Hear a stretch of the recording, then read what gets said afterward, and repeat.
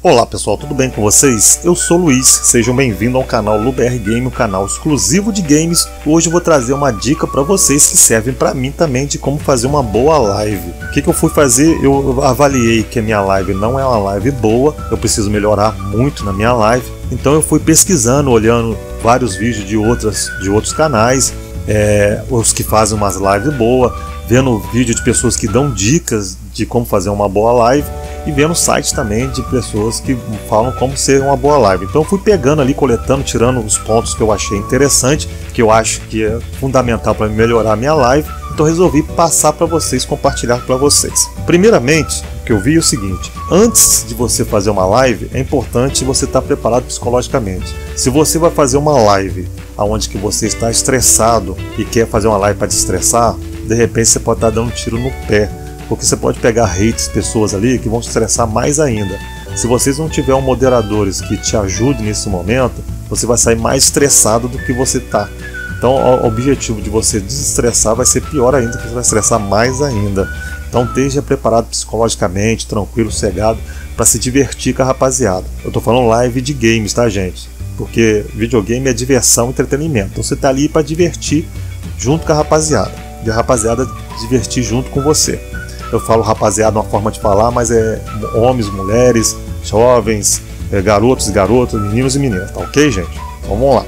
Pronto, já estou preparado psicologicamente. Qual a próxima etapa do BR Game? Será você testar a sua internet antes. Eu uso um site chamado Speed Test, aonde que eu faço o teste do pink, do download e do upload. Vou falar um, por um por enquanto. O pink é bom para quem joga online. Ele é o inverso do download e upload. Quanto menor o pink, melhor é meu jogo online. Porque o ping, é, se não me engano, é milésimo segundo. Então é o tempo de resposta. Dá um tiro até chegar no, no, no, inimigo é mais, mais rápido, é menos segundos. Se tiver muito alto, você provavelmente vai perder uma partida porque o seu adversário vai dar um tiro em você até você dar a resposta, você já levou o tiro. O download é importante para quem quer baixar alguma coisa, baixar um jogo, baixar um programa, baixar qualquer coisa, o download, quanto mais alto ele for, melhor ainda. E para transmissão ao vivo é o upload. Quanto mais alto é o upload, melhor vai ficar a sua transmissão ao vivo, vai ficar com uma qualidade de imagem melhor e uma qualidade de resposta melhor. Lembrando, gente, vou dar um recado aqui rapidinho sobre isso. As pessoas que estão no chat, no YouTube, estão fazendo uma transmissão no YouTube, tem que ter a paciência, às vezes não tem. Porque o YouTube eu vou informar para vocês o seguinte: o YouTube demora de 10 a 14 segundos o tempo de resposta. Ou seja, você mandou uma pergunta para mim, Ô BR Game, que jogo é esse? Vai demorar de 10 a 14 segundos para aparecer para mim essa resposta na tela. Eu vou responder para você, vai demorar de 10 a 14 segundos para chegar até você. Se você não tiver só aí, dá um quê? Uns 20, 28 segundos. Se você não tiver paciência, você vai questionar por que, que eu não estou te respondendo. Então já estou informando que o, o YouTube é assim. Se você quer uma resposta rápida, aí são o mix. O mix é menos de um segundo. Você perguntou, um segundo chegou para mim, um segundo eu respondi. Ok? Só para esclarecer, para tirar dúvida das pessoas. Fez o teste, o piloto tá tudo direitinho, certo? Antes de começar a live, preparação da live, na minha opinião, isso aqui já é opinião minha, tá? É, vá no banheiro antes. Já teve live que a pessoa começou a live. Ah, pera que eu vou no banheiro. Três, dois minutos eu falei, ah, vou no banheiro. Aí eu perguntei, pô, mas é. Já, cara? Ah, não, porque eu já tava com vontade, mas resolvi iniciar a live. Pô, vai no banheiro antes, cara, dois minutos. Agora, aconteceu de repente, não estava previsto, é outra coisa. Então esteja preparado para isso. Vai no banheiro antes, teste direitinho e tal. De preferência, come uma coisa antes. Eu faço da seguinte forma, é a dica minha. Eu deixo uma garrafinha d'água aqui, uma garrafinha d'água, um copo. Eu deixo meu cafezinho aqui, deixo um petisco aqui e antes eu, eu vou no banheiro. Praticamente, praticamente não, todas as minhas lives eu não me ausento das lives. Não estou falando isso, gente, que vocês não vão se ausentar da live, tá? Vocês vão se ausentar. Mas é para reduzir a quantidade de vezes que vocês saem para fazer uma outra coisa. Tá? Reduzir. É claro que vocês vão atender familiares, vão fazer alguma coisa, vocês vão ter que se ausentar. Se for demorar muito, gente, ó, depois outro dia eu começo a live. Eu, a dica que eu dou, o que eu faço, as minhas lives não me ausentam. Vocês não verem eu ausentar na minha live. A dica que eu dou é isso. Coloca uma cadeira do lado, um banquinho, alguma coisa, vai lá, coloca uma garrafinha d'água, um, um suco, refrigerante, um petisco ali e tal. Já foi no banheiro antes. Pronto, você toca a sua live. Você vai ausentar só em caso extremo mesmo que você precisa ausentar. Tá? Porque tem pessoas que não têm paciência de ficar te esperando. E se você não tiver um grupo de moderador que segura essa turma, eles vão sair. Tá ok? fica se ausentando demais a live e atrapalha. Tá, então preparado psicologicamente, já testei minha internet, tal, eu vou começar. Olha, é crucial o seguinte: você começou a sua live. No período de meia hora ela caiu. Daqui a pouco você. Aí vou começar de novo. Daqui a pouco ela caiu. Eu, particularmente, se ela cair a segunda vez, a terceira vez eu não faço live. deixo para outro dia, vou testar para ver o que está acontecendo na minha internet, vou ver que tá... eu não faço a terceira vez. Só uma vez que eu fiz isso. Na quarta já acabou a live, não teve mais live. Por quê? Gente, se vocês ficarem insistindo, caiu a live. Gente, ó, vou abrir outra live de novo. Ah, vou abrir outra live de novo. Vou abrir outra live de novo. Cara, vocês vão perder inscrito. Vocês que têm canal vão perder inscrito. Com certeza vocês vão perder inscrito. Ninguém tem paciência. Porque vocês vão perder a confiabilidade das pessoas. As pessoas vão perder a confiança em vocês. E para perder a confiança é um segundo. Para recuperar a confiança, pode levar a vida inteira, gente. Então perder por causa de uma insistência, o que, que a pessoa que está assistindo vai entender? Porra, esse cara tá obcecado, cara. Já vai para 5, 6, 7, 8 tentativas. Tá, eu não vou ficar assistindo direto.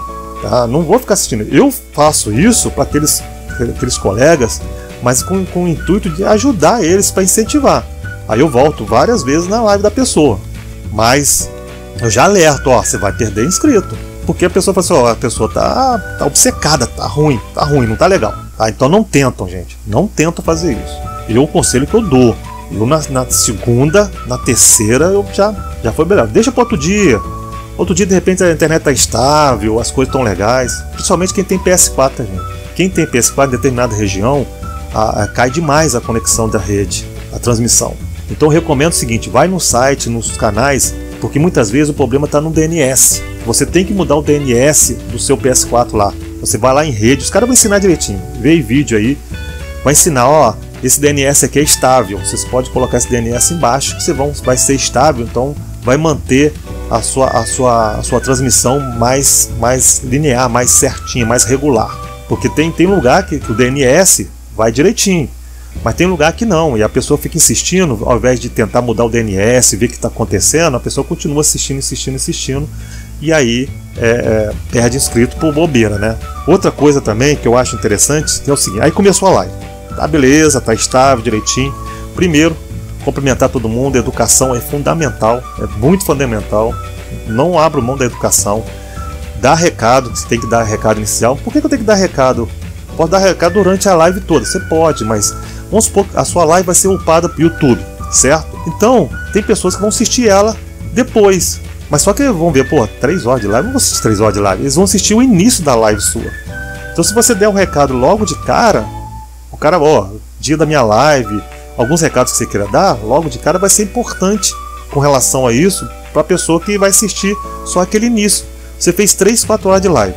A pessoa não vai assistir 3, 4 horas porque não está ao vivo, ela não vai interagir, não vai bater papo, nada. Já, já foi upado no, no YouTube. Então o que, ela vai fazer? Ela vai assistir só aquela primeira meia hora, uma horinha ali, para ver como é que foi sua live. Se você der um recado logo no começo, ela vai entender. O fundamental na, minha, na live, para mim, na minha opinião, é isso: é a interação. Tá? Tem que interagir tem que interagir o dono da live com os, os, os que estão assistindo e os que estão assistindo interagir entre eles. Isso é fundamental, porque ninguém vai para uma live, por exemplo, eu, opinião minha, gente, opinião minha, eu não gosto de ir em live que a pessoa é, colocou o jogo ali e nem falam, lá vez o outro falam, oi, oi fulano, e volta. A pessoa tá secada no jogo. Eu primeiro vou ver o jogo. Se é um jogo que eu não conheço, eu vou assistir o jogo o cara jogando, certo? Mas chegou um certo momento, falei, bom, esse jogo eu vou querer jogar futuramente e não tá tendo interação aqui, o cara não responde, não fala nada com a gente, não, sei lá, tá, tá, tá, tá não tá nem aí porque a gente tá aqui.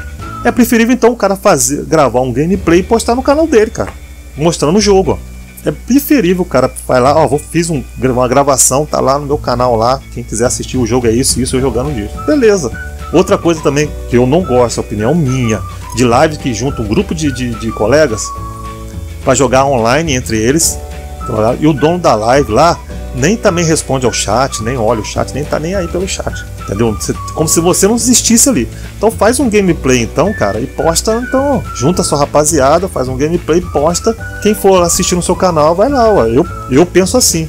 Eu penso assim, live para mim é interação, cara. É a gente reunir o pessoal e bater papo sobre videogame. Por exemplo, no meu caso é videogame, bater papo sobre videogame. Ninguém vai numa live eu jogando para ver eu fazer receita de bolo. Quem tá ali é porque gosta de videogame, quer bater papo sobre videogame. Muitas vezes, quando tem uma certa amizade, a gente começa até de outras coisas sem ser videogame. Sem ser o jogo, sem ser notícia, sem ser alguma coisa do game. Mas quem tá ali é para assistir o jogo, para interagir, bater papo. São rapaziadas, são rapa, eu falo rapaziada de novo, são, pode ser meninos, meninas, garoto, garota, homem, mulher, é uma forma de eu falar, tá? Então, para ali para interagir. Se não tiver interação, não adianta. Na minha opinião, não adianta. Eu não vou fazer live se não tiver interação. Para me interagir. Aí eu posto o gameplay e a pessoa assiste no canal, cara. Então eu particularmente, eu não concordo, eu não não não vou numa live se tiver uma, esse tipo de situação, tá ok? Então é importante, gente, essas dicas que eu, que eu tô dando aqui, que eu tô trazendo para mim, numa live a interação é de suma importância, muito de suma importância. E outra coisa, caso vocês queiram acrescentar alguma coisa no que eu falei ou retirar alguma coisa que eu falei, falar, oh, eu não concordo com isso, Luiz, é só deixar no comentário aí comentário respeitoso, educado, com certeza eu vou responder. Comentário com falta de respeito, eu não só não vou responder, de forma nenhuma, não vou responder de forma nenhuma. Pode ficar despreocupado. Ah, eu falei, não, não eu não só não vou responder a nada, vai ficar em branco ali. Agora os comentários respeitosos direitinho, com certeza eu vou responder da mesma forma, tá ok? Então é só uma dica só para dar uma ajuda para fazer uma live psicológico verificação da internet, preparação do ambiente, não ficar insistindo, a internet caindo direto, para vocês não perderem inscrito, dar atenção para os inscritos, ser educado para os que estão assistindo, a educação também entre, entre os que estão assistindo, tá? interagir mesmo, live é para interação. Então é isso aí, espero que tenham gostado, fiquem com Deus e fui!